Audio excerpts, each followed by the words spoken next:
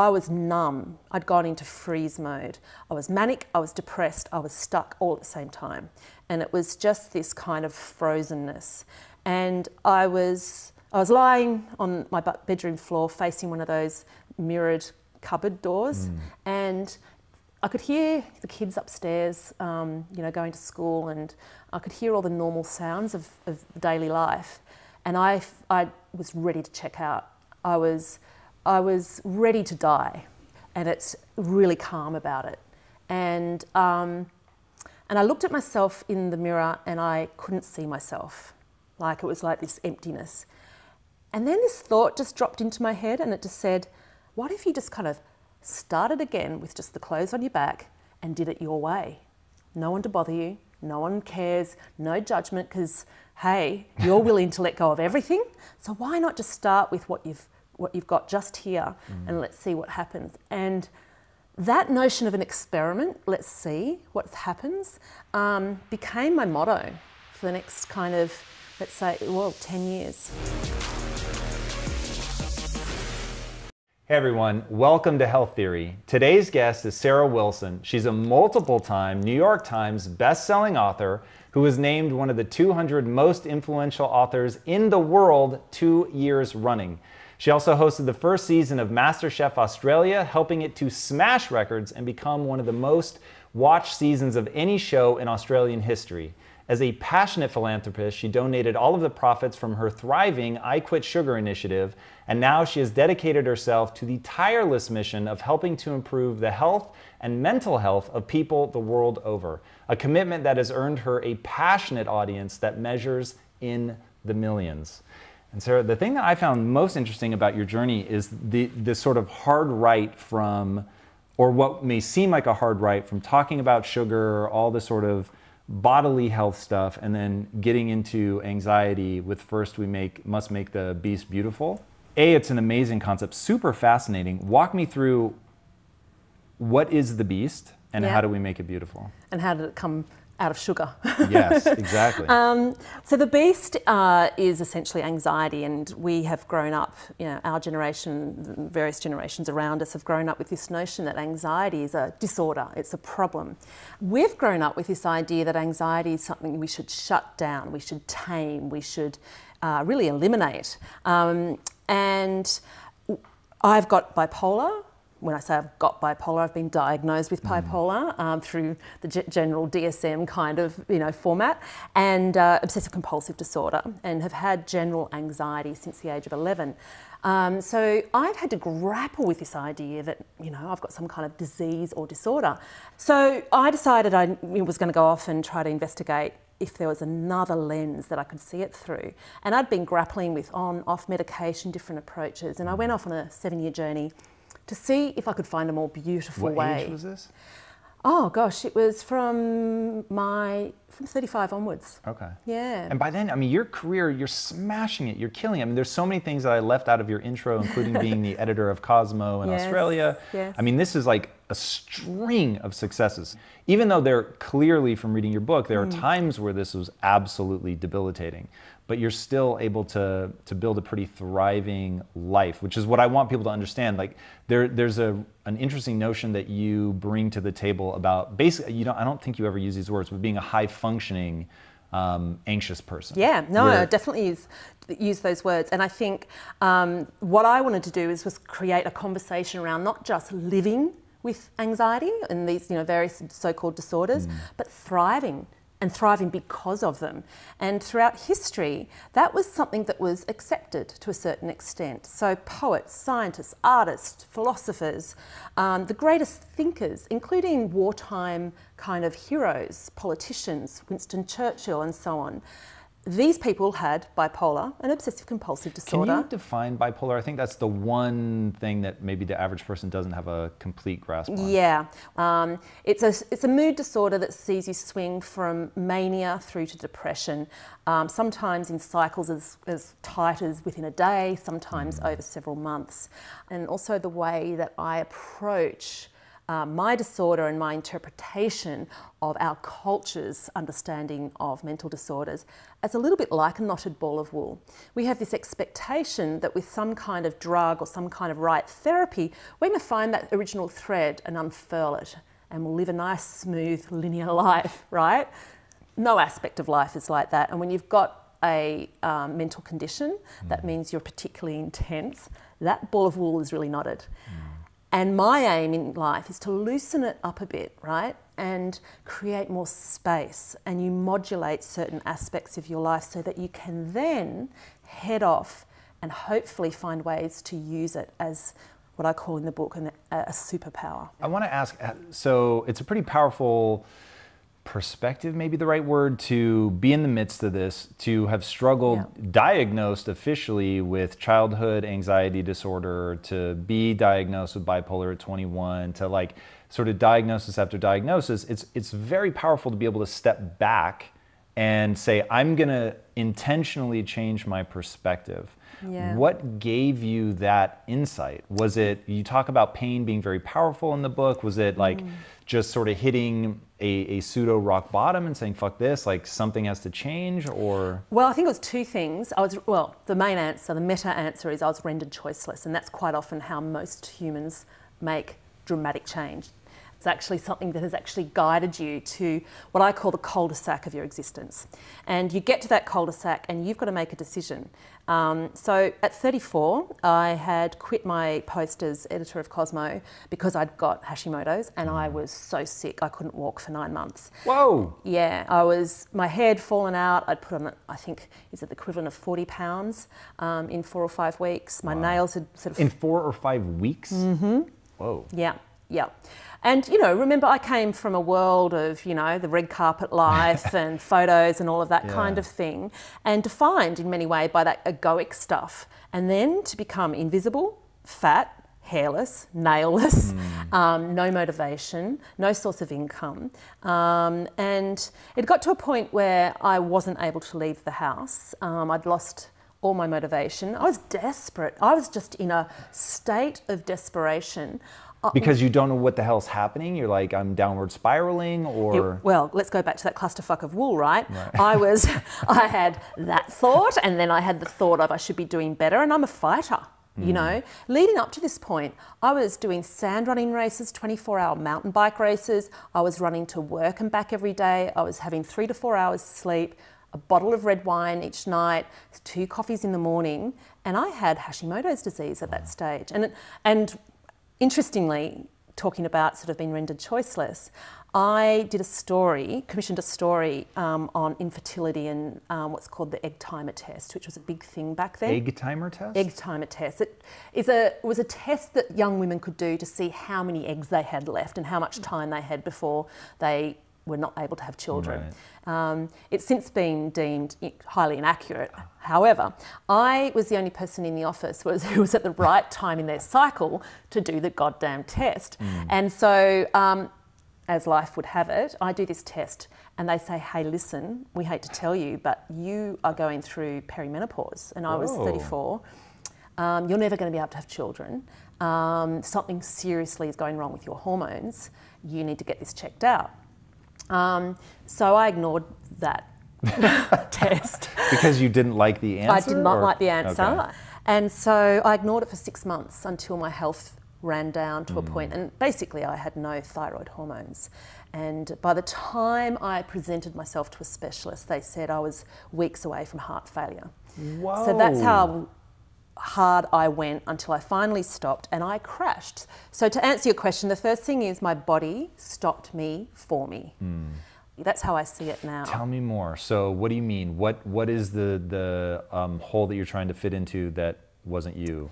The rat race, the climbing the corporate ladder, being successful. it being was successful? all that exactly. It okay. was that. It was also that A-type concept, that A-type construct that women, I think, um, in particular, of my age, my era, uh, we very much were of that mindset where we had to beat the boys and mm. we had to almost take on a masculine physicality, a masculine mindset. And it, I guess it really abrased my values because I grew up on a subsistence living property. Um, I've got very anti materialist values, always have. You know, I was the editor of Cosmo and never owned a handbag. I Wow. rode a bike to work every day. I never owned a hairdryer.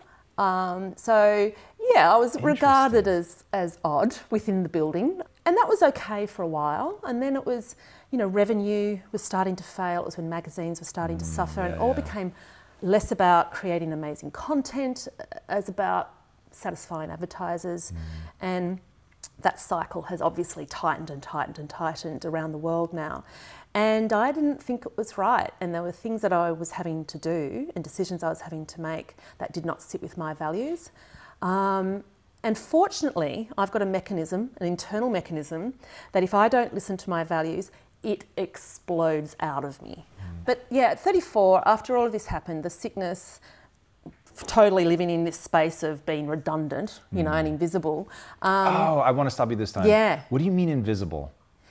Well, I was in the public eye, and all of a sudden, I was, you know, fat, hairless, um, infertile, and I was physically and, and actually invisible in the sense that I was pretty much housebound. Okay. And amidst all of this, as life has it, my car was stolen, my surfboard was stolen, my bike was stolen. Um, Good run. yeah, it went on and on, and to the point where it became comical. And your friends drop off, and I think with chronic illness, it's you know very often said that um, at first you get a bit of love and attention, and then you know over time it, it becomes monotonous for people. You know, there's no improvement. Um, monotonous for yourself, and I just wasn't engaged with the world. You know, so I was invisible in that sense. Um, I wasn't down the street meeting strangers and saying hello to the barista who made my coffee because I wasn't leaving the house. So there was a moment where I'd been awake for three days Oh God! Mm, and I was lying on my bedroom floor. I'd Because not your left. mind is racing, or what's going on? Well, let's go back to that ball of wool Yeah. analogy, or even just lot let's things. yeah, let's imagine just all these thoughts are coming in and all thoughts are coming out. Yeah. And when that happens, the net kind of movement is zero. I was numb. I'd gone into freeze mode. I was manic, I was depressed, I was stuck all at the same time. And it was just this kind of frozenness. And I was I was lying on my bedroom floor facing one of those mirrored cupboard doors and I could hear the kids upstairs, um, you know, going to school, and I could hear all the normal sounds of, of daily life. And I, I was ready to check out. I was, I was ready to die, and it's really calm about it. And, um, and I looked at myself in the mirror, and I couldn't see myself. Like it was like this emptiness. And then this thought just dropped into my head and it just said, what if you just kind of started again with just the clothes on your back and did it your way? No one to bother you, no one cares, no judgment because hey, you're willing to let go of everything. So why not just start with what you've what you've got just here and let's see what happens. And that notion of an experiment, let's see what happens, um, became my motto for the next kind of, let's say, well, 10 years. Um, and I literally got up and weird stuff started happening, like just bang, bang, bang, because I honestly didn't care. I had nothing to lose. And so I made a commitment to myself that I would remember that that's what I'd committed to. I would start off again with just the clothes on my back and I would live by my values and I would promise never to get caught up again. Um, and that's what enabled me to go off and explore things, ring up His Holiness the Dalai Lama, whoever it might be, ask, you know, and asking questions.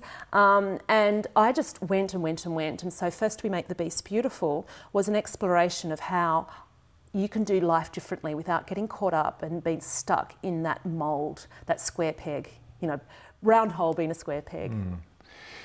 Your ability to reframe, I think, is so important right now as mental health issues appear to be on the rise. There's some debate. Certainly, it the the visibility of it, the opportunity to help people who are struggling with it, whether it's actually more people that have it or not, I think is irrelevant.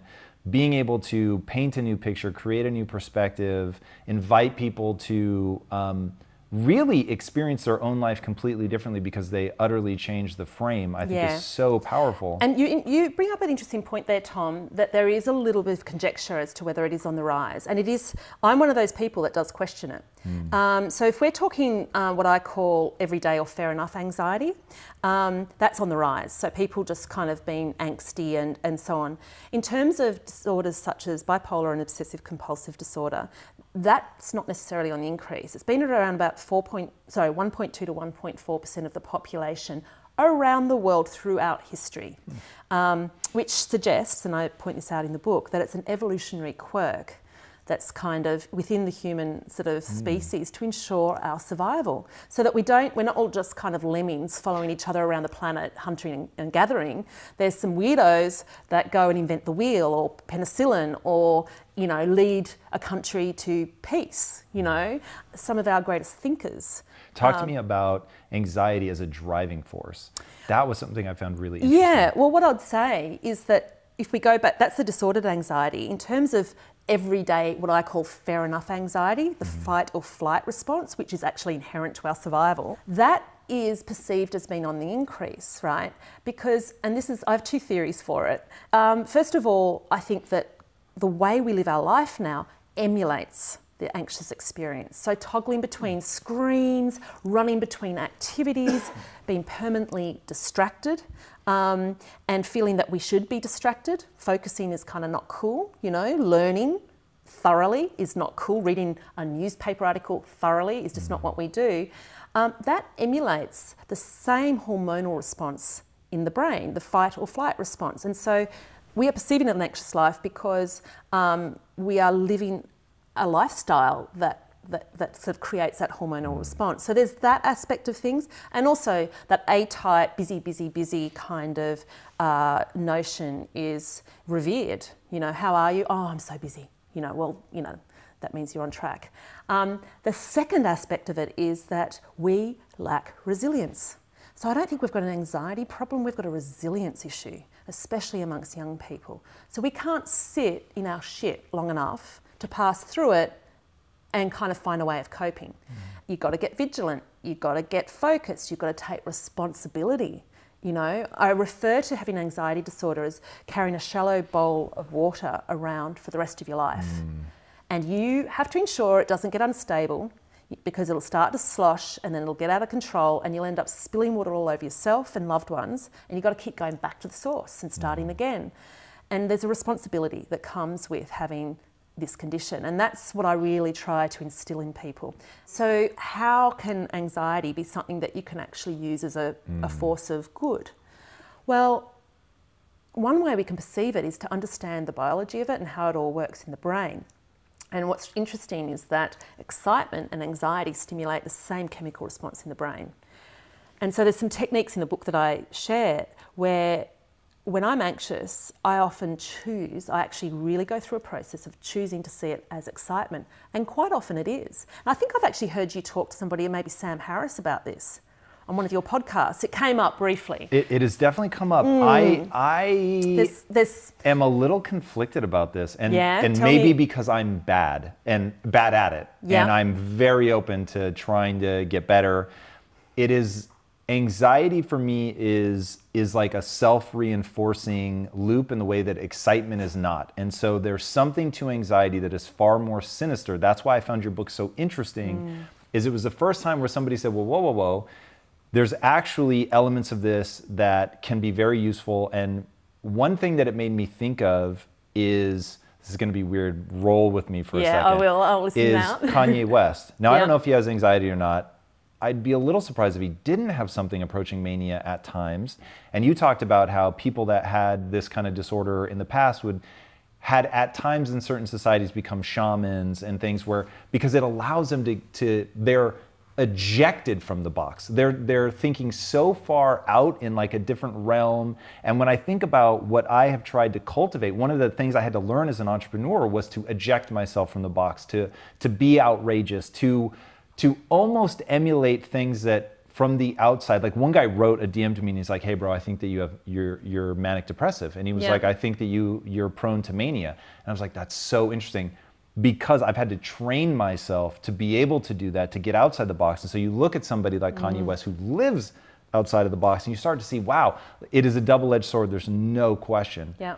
But in terms of breaking frameworks, in terms of, like you said, that Hashimoto's, as terrifying as it is, actually forced you out of a framework, forced you out of a way Mm. of thinking, left you in the cul-de-sac of your life, no choices.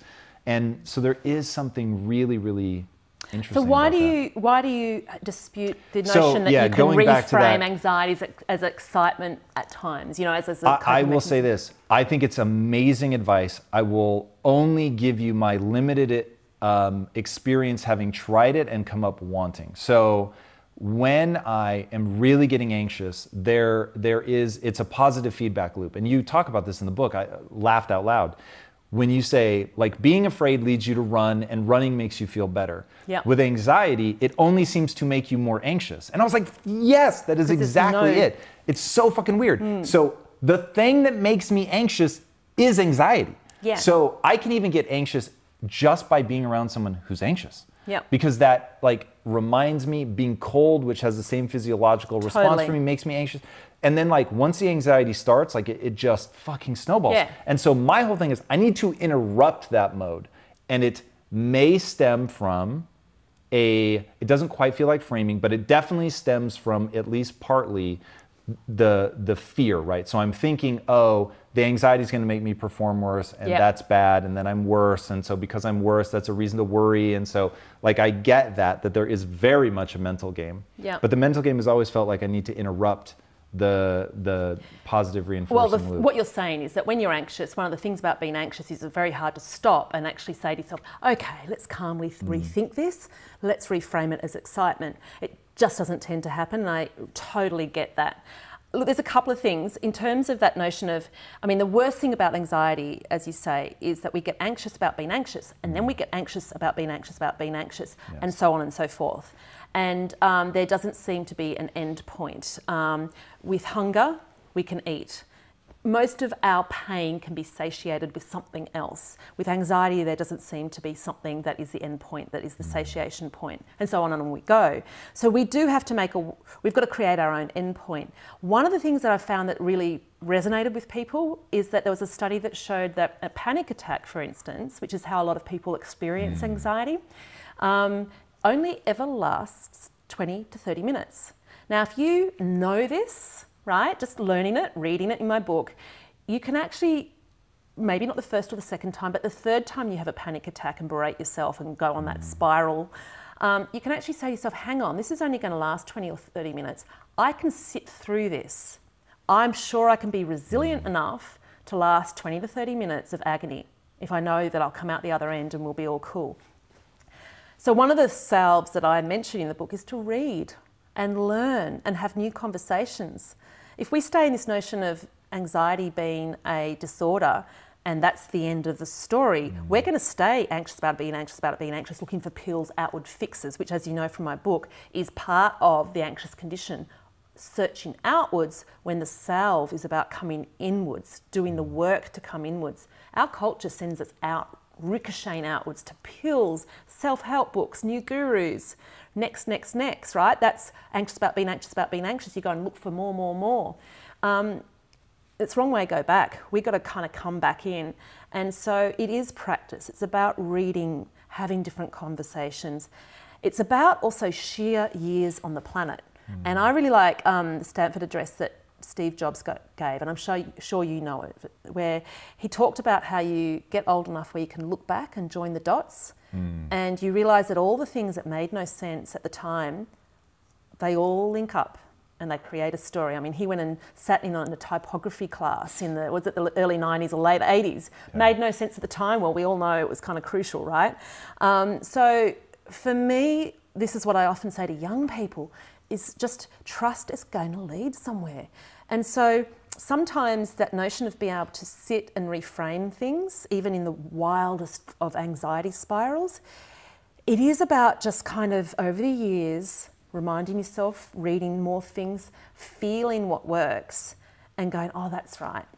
And I do think meditation as a discipline, as a, as a practice for that kind of thing, that ability to stop, find a space between all the words and all the stuff, to regroup, refocus, and be vigilant, yeah. um, is non-negotiable. So there's, there's, there's, there's maintenance so that you can modulate, and then there's stuff that you need to do when you're in the wildest of panics. Mm it's a two it's a two pronged approach, and that's how I live my life. Talk to me about meditation. That that has been the game changer for me. And when I think mm. about the hardest things that I've gone through in my life, um, thankfully they came after I learned how to meditate. And whoa, when I think about what that could have been like if I didn't know how to, at a physiological level, break the the spiral of anxiety. Um, ooh, yeah. it's not it's not good. So um, you've sort of tongue in cheek said that you're a terrible meditator. That will resonate with so many yeah. people. One, walk people through um, have you improved? And if you haven't, why it's still powerful? Um, okay, so yes and no is my answer to that one. Have I improved? I've been meditating for almost 10 years. Have I improved? No, I'm still a crap meditator. However, that is the beauty of meditation.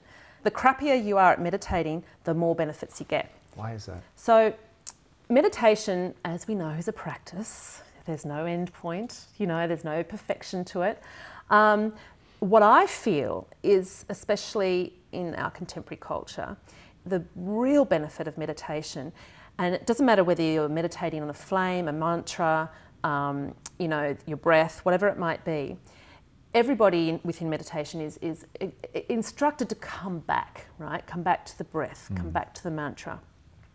And I do a Vedic style, and um, there's a, a, a, Sanskrit word, sukshma, which means um, effortlessly and innocently. So you use sukshma to gently come back. And I sort of rem- think of a sort of a child that wanders off, mm. and you mm. just gently bring it back, and it, off your thought, your thoughts go off. You know, you're a crap meditator. You're thinking about what you're going to eat afterwards and what you want to do, and oh god, this feels really great. I'm gonna, you know, I'm going to write a blog post about it, whatever it might be you gently come back. Now, if you're a great meditator, okay, in your 20 or 30 minutes, you might only have to do that a handful of times. When you're a crap meditator, you are constantly mm. gently coming back, gently coming back. Now, within that 20 or 30 minutes, it's pretty tedious. But what you're doing is you're retraining synapses in your brain that basically say, sukshma, sukshma, keep coming back, keep coming back. Wandering off, come back. So you go out and get up and start the rest of your day.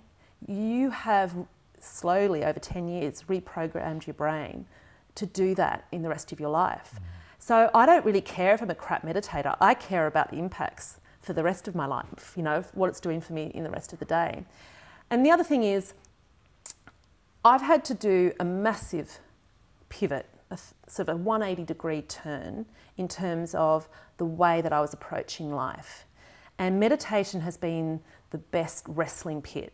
You know, me versus my ego. Mm. You know, sometimes my ego wins, and sometimes little I, big I wins. You know, and um, that is a really important process to go through and to be alive to. And if you don't have that as a daily, disciplined, responsible um, regime, um, I think it'd be almost impossible to find a calm spot with your anxiety where you can come to use it mm. and thrive with it. But over the years, I've got looser with it. I've felt that I needed to individualize it. So I bring in some somatic theory, and I do feel that a lot of um, healing and shifting can come from your body. What's somatic theory?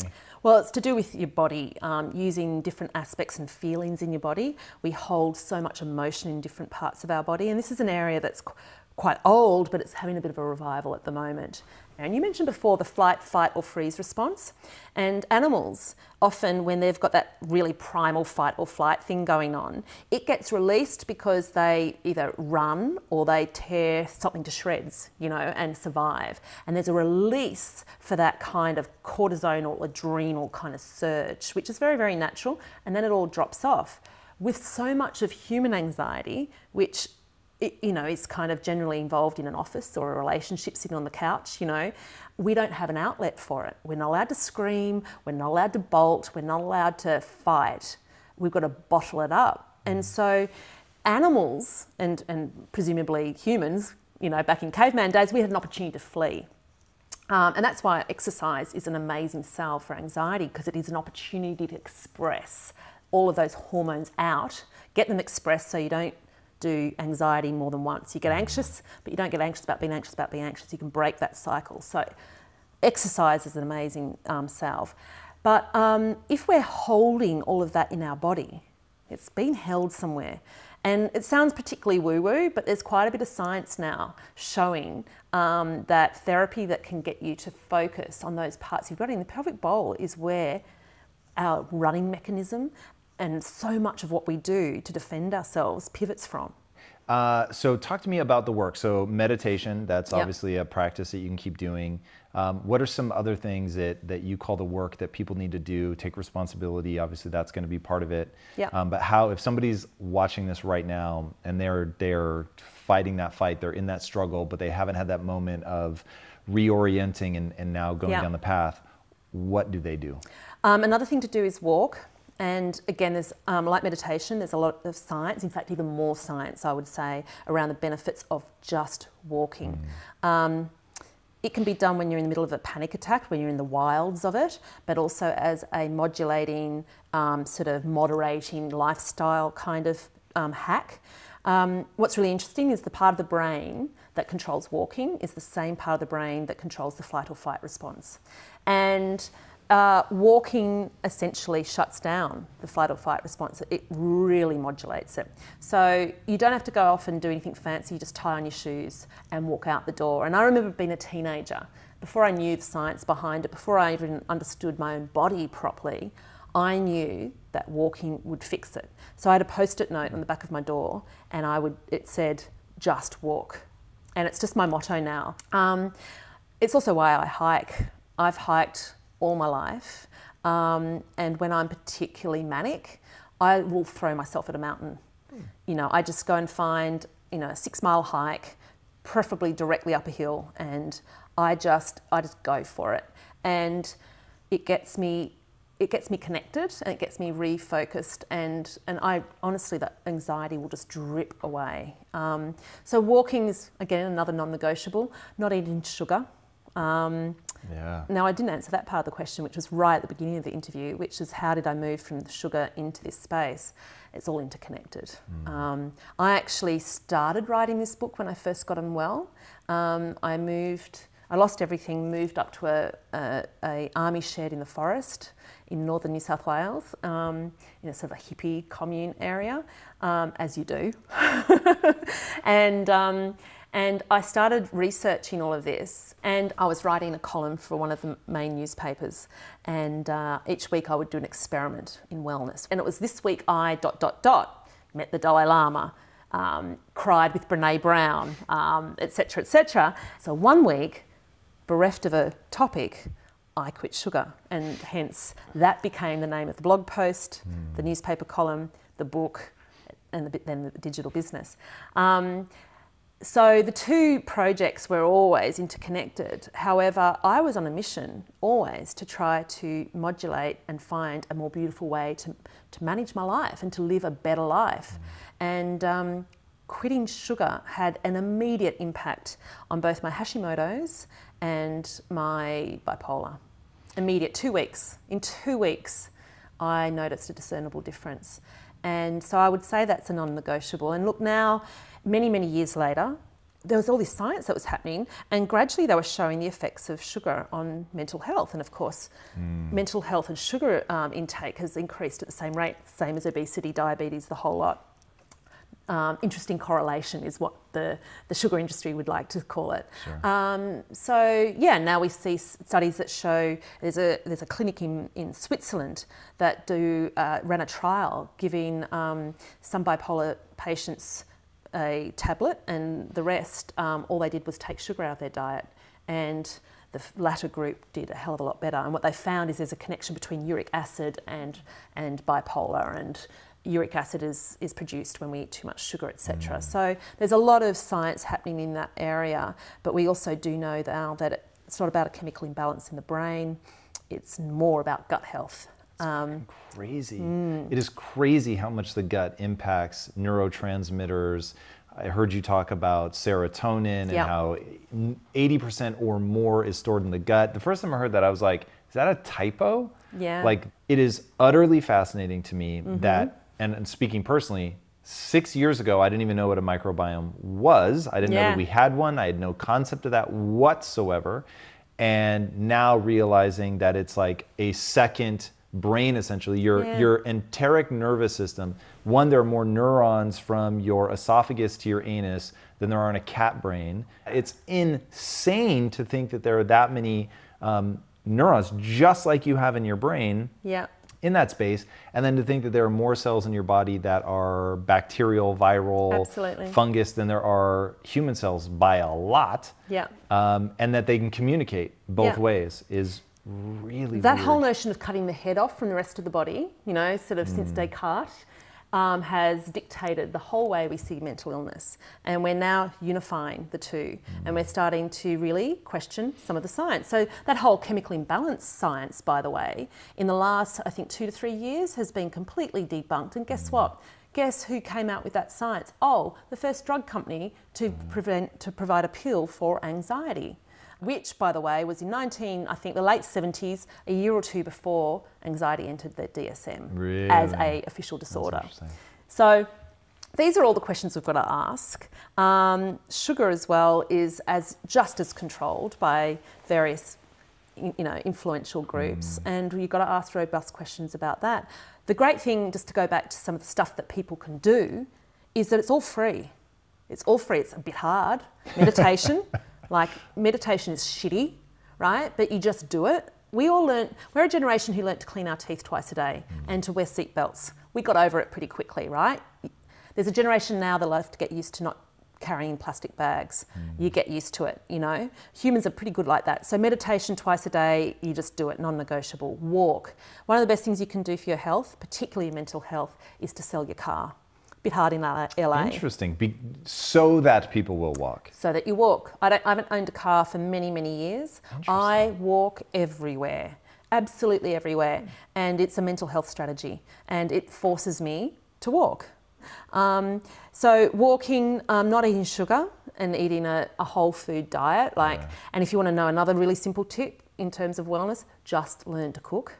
Um, you know, when you stop eating sugar, you stop eating processed food, which means you've then got to buy real food, which means that you've then got to cook. So just learn to cook. Um, stop eating packaged foods. It is a silver bullet straight through to kind of stable mental and physical well-being. Mm. These are not expensive things. These are things our grandparents used to do. Um, they kind of sound boring and really unsexy because people want the thing with the TM on it, right? Yeah. They, they, and they want the person who's got the five, the five best hacks for such and such. Mm. Um, but really, some of it, some of what we need to realise about where we need to head politically, spiritually, physically, is that it might just be a bit more ordinary than we're used to. And that's a good and yeah. beautiful thing. Which makes sense. Like when you think about just stripping things down to their essence, getting back to first principles. What what are the things that are more likely to work? It's going to be physiological, what I call physiological hooks. So, we'll meditation, right, is a, mm-hmm. a physiological way to interrupt like the thought patterns and all that, but using something that evolutionarily we would have anyway um, eating whole food whenever you can, getting you know um, things you can trace back where it came from. Yeah. And I will say that I am. I am so sad that I missed the obviousness of the first principles of this that what your food ate matters. Mm. I just, you couldn't have convinced me of that 10 years ago. Like yeah. it just seemed so ridiculous to me. Yeah. And now that seems so patently obvious when you think about the fact that your cells turn over every seven years, some much, much faster mm. than that. You're made of the things that you eat. And if you're made of the things that you eat, the things that you eat are the, made of the things that it ate. So mm. it's like. Or didn't eat. Yeah. How it was how it was formulated in a lab somewhere by a multinational company um, with um, you know a vested interest in seeing you addicted to their product. Yeah. I mean that's that's the that's the frightening thing. And the best thing you can do is stick it up the system by cooking your own food and don't buy stuff from packets. Mm. Um, some of the other hacks that I think people quite like and find helpful is getting touched. And this is a weird one, but I. Getting touched? Mm, human touch. So if you're not in an intimate relationship, it can be difficult. And mm. there's an anecdote, I don't know if you remember in the book, where I was having a panic spiral. Um, I was in a shopping mall, there was a running shop nearby, and I went in there and said, I don't know what size my feet are. And I said it because I knew he would have to pull out one of those metal slidey things, you know, those old school yeah, yeah, yeah. and he'd have to measure my foot, and he'd have to touch my feet, and he'd have to talk to me. And that calmed me down. I didn't buy the running shoes. I think I bought a pair of socks actually. Um, but um, yeah, I've had to do things like that, or I go and get a cheap Thai massage. And then in between, I do experiments. Let's see. Let's see what happens. So when you're anxious, everything annoys you. Noises, chewing noises, uh, everything seems to just go wrong. You sit down at the cafe, you're really looking forward to it, it's a special thing, it's your one day off, and the bloody table's wobbling you know, and then a coffee comes out, spills everywhere, it's cold, and it's just, you know, life sucks.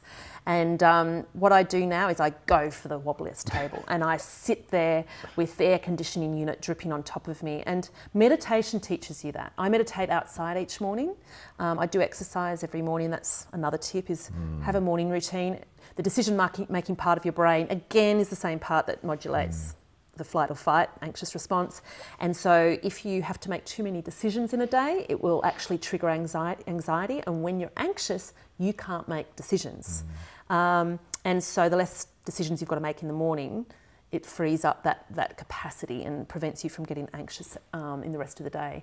So yeah, go to the pain, sit in it, practice it, and when you're meditating, sit there with flies buzzing around, you've got a leg cramp, you've got an itch, sit through it, practice yeah. the resilience. Um, I was going to ask you, like, if you have recommendations for people to become more resilient. Is it as simple as meditating when your nose itches like crazy and not yeah, scratching it? It's absolutely as, as simple and powerful as that. Do you have other ones? Um, well, going to the wobbliest table at the cafe, I think really works. I have a little thing in my head that says stay, stay. So when I'm reading, of course, I want to go and check Instagram. I want to get up and just, you know, see um, if somebody's emailed me. I want to go and ring somebody. And I've got one page, you know, through one page. We can't focus on long reads anymore. And there's a part of our brain that's really starting to suffer from that. And so I will practice reading and I have to read a chapter before I go and check my phone, and I put my phone on the other side of the room. It's dumb stuff like that, but it works because we've got to rewire our brain in different ways. So, yes, there's a whole bunch of resilience, like kind of techniques that I practice. And I experiment constantly. You know, I'm a really bad swimmer. I, I spend more energy just trying to stay afloat, and that's why I do it. I live across the road from the beach. And sometimes I go down, I go, all right, well, I go there, I'll go to the, the pool. There's a pool at where I live, which is in the ocean. It's ocean water. It's a, you know, Olympic sized pool. And that's easier. But that's more exciting. I see octopus and I see, you know, um, stingrays. Sometimes I'll see 20 stingrays, you know, um, and beautiful fish and, and so on. And sometimes I just want to go there. But I'll often choose the harder thing just to see what happens. Mm. Yeah, I think that's incredibly good advice. And what I love about what you're saying is that I think a lot of people think that to build their resilience they have to do crazy shit when in oh, reality no. it's it's pretty simple stuff. Meditation I think is huge. Like if you have an itch and not scratching it, you'd be surprised what that yeah. does.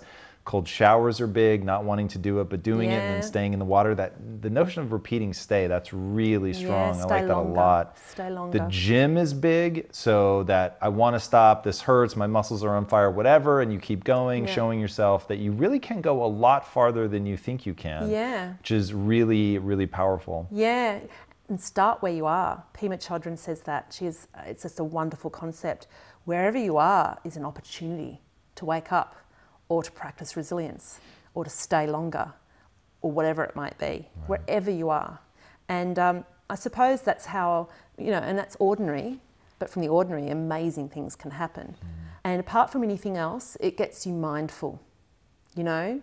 Um, all of these things get you mindful. They can seem draconian, they can seem kind of a bit rah rah, you know, um, but mostly it's about the, the vigilance that you apply while you're doing it. it. it. really doesn't matter what you do. Morning pages, you know, um, there's all kinds of things. Going to the gym, as you say, cold showers. We see these fads coming in and out, but they all have the same principle, don't they? And that is vigilance, applying yourself to something that's just a little bit painful. Mm. Yeah. No, I love that. I love that. Um, where can people find the book?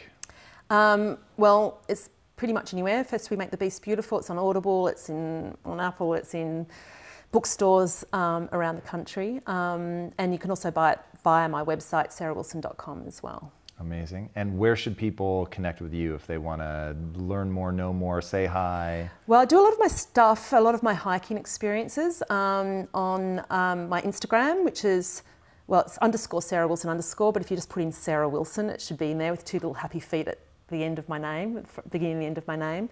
Um, that's probably the best spot. Um, and then sarahwilson.com as well. Nice. What is one change that you would have people make that would have the biggest impact on their health? Look, I, I, we've been talking about it a fair bit. I would say walking. Really? And I would say, I'd go one step further, I'd say hiking in nature. Okay. I think there's a lot to be learned from from going into nature and from what nature can mirror back to us. I think we Tell me more. I don't understand that. So, I think a lot of the lessons that we're seeking about connection and about what life is meant to be about plays out in a very still and present and awesome way in nature.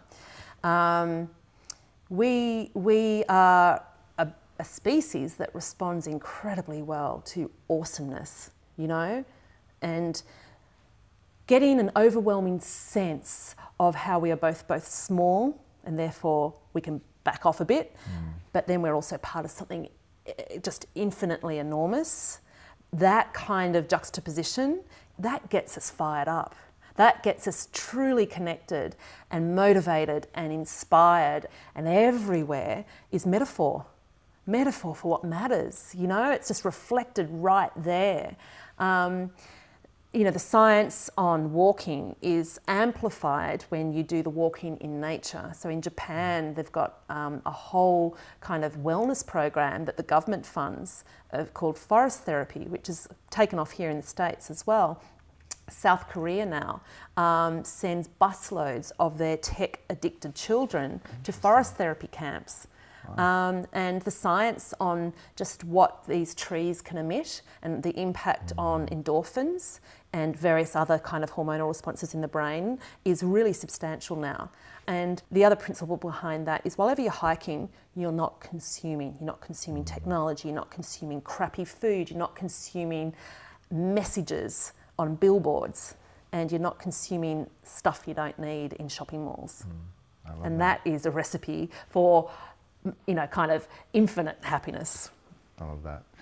Sarah, thank you so much My for pleasure. being on the thank show. that was so absolutely much. wonderful. Guys, trust me, you're going to want to read the book, which is absolutely fantastic. Everything that she puts out is a lot of fun, and I think it is really, really useful, especially now. Learning how to take control of your own mental well being is one of the most powerful things that you could do, and somebody that understands how it relates to diet and all that just doubles the impact. All right, if you haven't already, be sure to subscribe, and until next time, my friends, be legendary. Take care.